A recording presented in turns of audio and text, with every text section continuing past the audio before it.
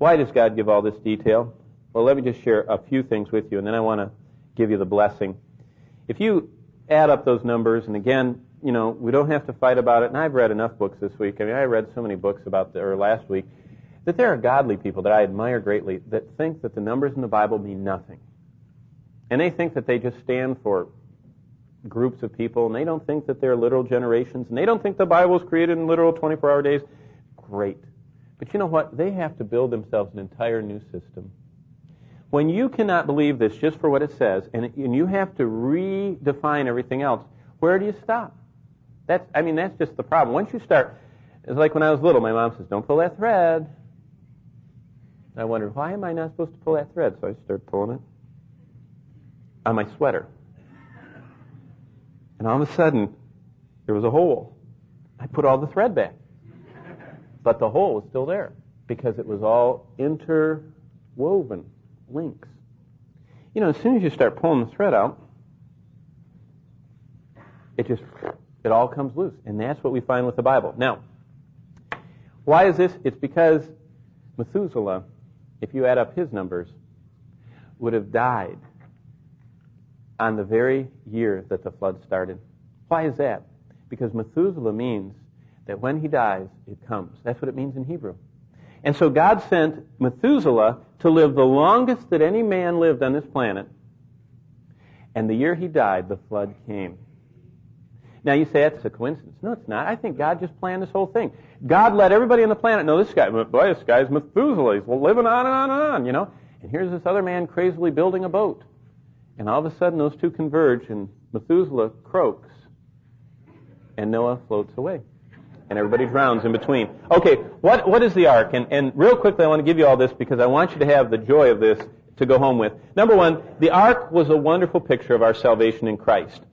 The ark was planned by God, it wasn't invented by man. The way that, that mankind was saved was God's invention, not man's. That's what salvation is. Do you know, there's, there's two, two parallel tracks that are going through our world. One is religion, the other is God's revelation. Religion is man's invention on how to get to heaven. Revelation is God's revealed plan. You know what religion says? You can never do enough. Just keep trying and trying and trying. You know what God says? Jesus did it all. Don't try. He paid the price.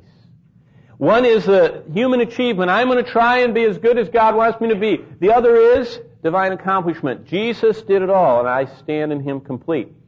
God invented the ark. Man didn't. Secondly, there was only one way of salvation. There's only one door into the ark. Did you know there's only one way to Christ? There aren't many roads that lead to Christ. And God does not have many names, and the people that call him Krishna are going to be right at the same place as the people that call him Jehovah. No.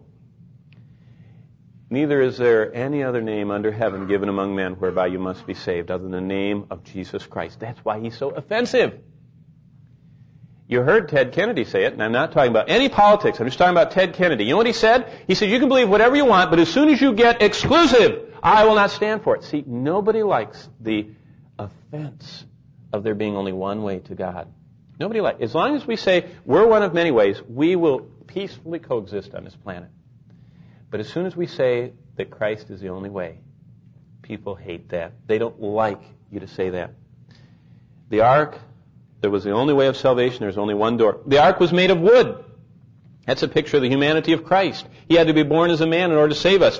The ark, look at verse 14 of chapter 6. This is neat. Verse 14, make yourself an ark of gopher wood, make rooms and cover it inside and out with pitch. You know what's interesting? The Hebrew word for pitch is the word for kafar, for atonement. You know what it says? Get an ark of wood and atone it. Cover it. Just, just coat it with pitch. What's interesting is that that's the whole Old Testament. All those blood sacrifices that they offered never got rid of sin. They just washed, or they just covered them over. They, they atoned. They covered them. They were still there until Christ came and bore them away, but they were covered. The ark is a picture of our salvation because Jesus Christ took our covered sins and bore them away. God invited Noah and his family into the ark. Look at chapter 7 and verse 2 of Genesis.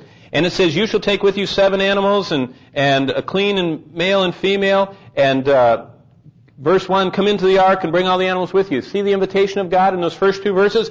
God invited them into the ark. And once they were in, look at verse 16. And it says, so those who entered were male and female, and they went in as God had commanded him, and the Lord shut them in. You see, God invited them into the ark, and God secured them. Did you know if you're truly born again that God invited you into Christ, and God shuts the door so you won't lose it? Boy, there's a lot of people that don't know that. They think that's the arrogant thing to say. No, that's what the Bible says. We don't deserve it. We don't deserve the invitation or the shut door so we don't lose it. We don't deserve either one. But the ark is such a beautiful picture of salvation, of our security, because God invites us to Christ and God seals us and holds us in Christ. The ark not only saved mankind, but the creatures within, just as Christ's death will not only deliver us from the bondage of sin, but creation will be delivered from the bondage of sin. If you're an animal lover and if you're a nature lover, and, and I just came back from nature and I love it too, praise the Lord, all of creation is going to be delivered from the bondage of sin. Right now, this universe is groaning. There's a dissonance and there's a, there's a, uh, just an out of jointedness in our universe as, as entropy and as all of the universe is winding down and it's just, it's just decaying. It's groaning. But God's going to deliver it from that groaning. Christ not only came to save us, He came to set the universe free from the bondage of sin. The ark saved them from judgment. Christ saves us from the wrath to come. 1 Peter 3, uh, verses 18 to 22, which I want to read to you, connects Christ to the flood. And let me read to you what it says. I keep alluding to Peter because he talks about the ark so much.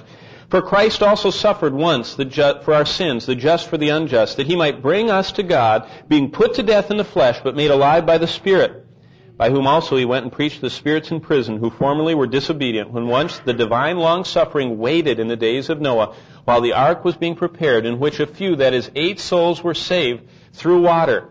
There is also an antitype which now saves us, baptism, not the removal of the filth of the flesh. We're not saved by being baptized and having our sins washed away, but the answer of a good conscience toward God through the resurrection of Christ who has gone into heaven is at the right hand of God, angels and authorities and powers having been made subject to him.